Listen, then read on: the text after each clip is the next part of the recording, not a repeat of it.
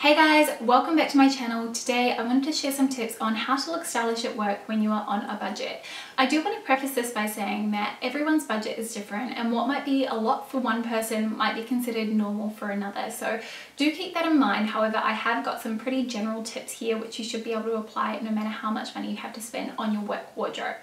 With all that being said, let's just dive into it with the first tip, which is to make sure that you're investing in the right pieces for your work wardrobe. Now we all have very different personal style and it can be a little difficult to actually feel like you can inject that into your work wardrobe. However, there are small ways that you can do it by choosing the types of items that you wear to the office. I'm sure when you first started developing your work wardrobe, you might have done a few searches to see what key pieces you should have in your work wardrobe. And there are some pretty defined items in there which I don't think are for everyone. Could be chic dresses even though you don't enjoy wearing dresses or maybe suits with trousers even though you prefer to wear a skirt. So you can kind of tailor that to you and you can sort of invest your money in the right items, on the right workwear pieces that you will actually get wear out of. My next tip is to get items tailored. Just say for example you are out sale shopping for your work wardrobe and I'm going to talk about this a little bit later and you find a really great skirt, a dress or some trousers which are perfect. They fit you really amazingly however they are just it's just too long. I would recommend just biting the bullet, purchasing it and incorporating the fee of actually getting that item tailored, taken up into the actual overall cost of the item. I find that this is a really simple tool to make any item in your wardrobe look like it is made for you and something that I apply not only to those workwear pieces but also to my everyday closet as well and it really does make a world of difference.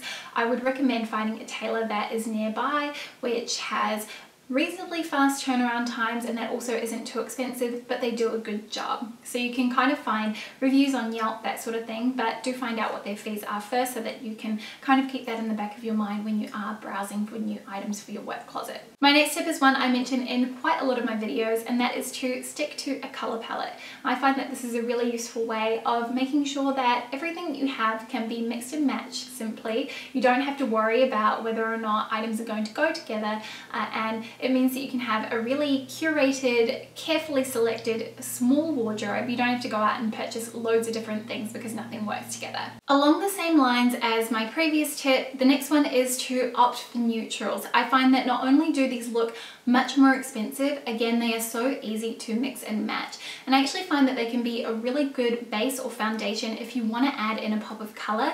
Just say you really love the color red. It's one of my favorites. It looks really beautiful when paired with Uh, and I find those two tones just play off each other beautifully. So it's a really good way to go. And like I said before, a neutral outfit can look really expensive even if you're wearing really inexpensive items. If you are the type of person who likes to leave getting dressed in the morning until the last minute, then this next tip is for you. It is to take photos of outfits for the office that you've worn that you really like and keep it in a folder on your phone. This is something that I do with outfits that I wear that I love because I think that we should be repeating the outfits that we really enjoy wearing because they're ones that we're going to feel confident and feel great in. It's a great way to have a little bit of a cheat sheet at your disposal at all times where you can just kind of flick through and think, oh, that was an outfit I wore maybe last month. I absolutely love it. I'm going to reach for that again. You don't have to think about it. It's already done for you. You've already kind of done the hard yards of pulling together that look. So that's a really good tip if you want to get a few more minutes of sleep in the morning. My next tip is to buy items that do double duty. And what I mean by this is items that are versatile enough to not only be worn for the office, but also to be worn on the weekend as well.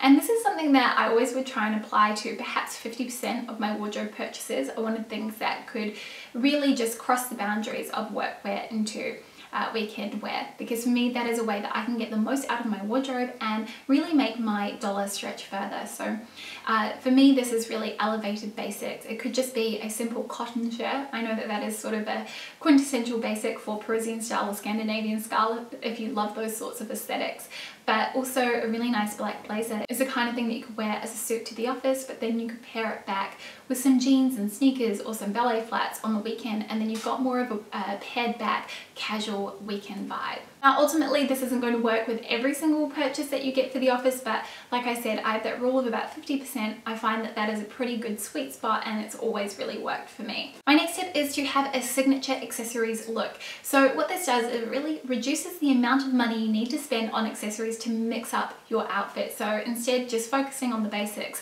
The reality is that most days people aren't even really paying attention to what you wear and if you wear the same outfit every day for a week I'm sure very few people would notice. So I like to kind of keep my accessories very basic, very pared back. I used to keep a pair of shoes underneath my desk which I would wear every single day without fail. It was just the one pair of shoes that I needed. There were some black pumps and they were just classic. They went with everything and I knew I could rely on them. Same went with my bag. I had the same tote bag that I use every day. It was smart, it was functional and it did the trick. I don't think you need to spend a lot of money on these items. I just think something that is good quality and that is made to last is all you need to do and this can be found at any price point. My next tip is to focus on purchasing more natural fiber pieces over synthetics. And there's a few reasons why I recommend doing this. I think for one, they tend to last a lot longer than their synthetic counterparts. They're generally better made and the fabric is going to feel a lot nicer against your skin.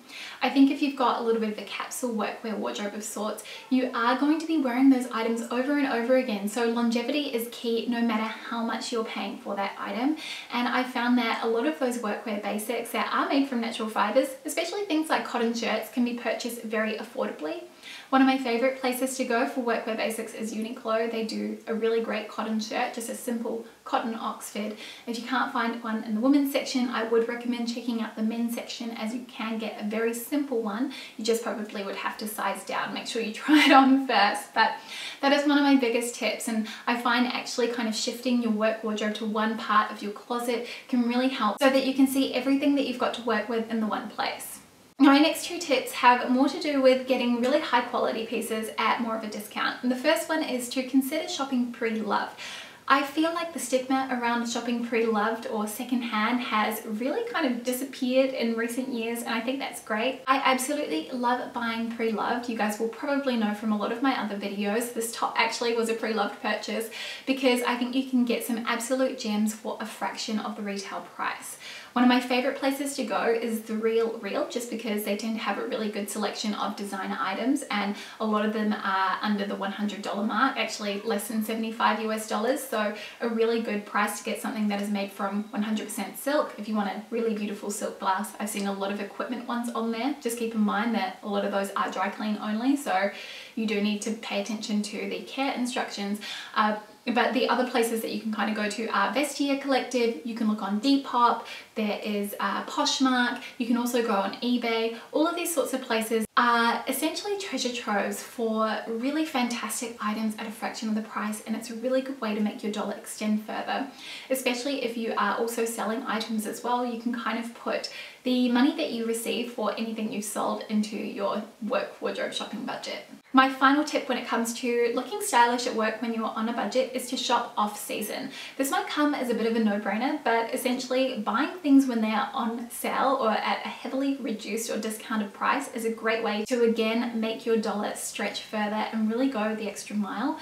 You can get really high quality pieces again for a fraction of the price, especially if you're going to good outlet stores. I know that there are tons of great online outlets as well as physical stores as well, so it's kind of worth spending a little bit of time rifling through because you can get incredible items for an incredible deal and that will really help you to kind of make the most of your workwear budget. So I hope that you enjoyed this video and that you found it helpful. You got a few ideas for how you can look stylish at work when you are on a budget. I know it can be really hard, especially when you want to kind of showcase your personal style. And there are little touches that you can do, whether it's maybe mixing up your jewelry, putting on some really beautiful necklaces that you love to wear in your free time, just making sure they are office appropriate, or maybe mixing up your hairstyle or even your makeup. But I really do hope that you enjoy this and if you have any other tips, as always, let me know in the comment section below. I'll see you guys next time with a brand new video. See you soon. Bye.